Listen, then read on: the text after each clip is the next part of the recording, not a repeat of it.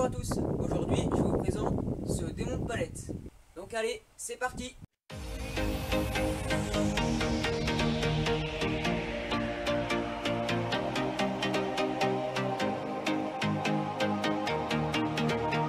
Alors ce démon de palette, je l'ai acheté sur Amazon à moins de 30 euros. Il a la particularité de démonter aussi bien les palettes à chevron que les palettes épales. Donc c'est quand même un grand point positif, sachant que entre les deux fourches, il y a 11 cm d'écart. Le manche, il fait 110 euh, cm de longueur. Et maintenant, on va faire un petit test de ce démon de palette avec une palette à chevron et une palette épale.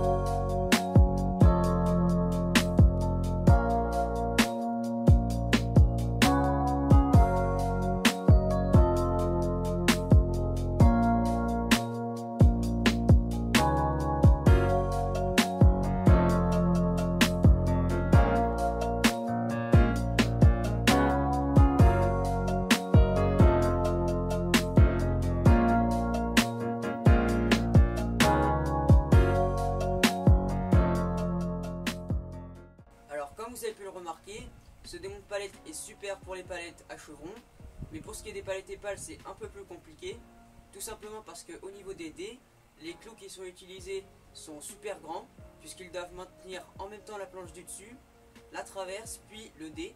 Donc euh, quand on démonte une palette, soit la planche du dessus se casse, soit elle reste intacte, mais dans mon cas, elle s'est cassée. Ce qu'il faut retenir de ce démon de palette, c'est qu'il peut démonter les palettes épales. C'est un peu difficile c'est faisable. Il démonte très facilement les palettes à chevrons. Et dernière petite chose à noter, c'est que à moins de 30 euros, vous pourrez avoir un bon stock de planches chez vous, comme le prouve cette photo.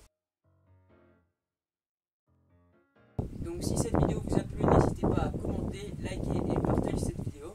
Et à vous abonner si ce n'est pas déjà fait. Et à la prochaine pour une nouvelle vidéo.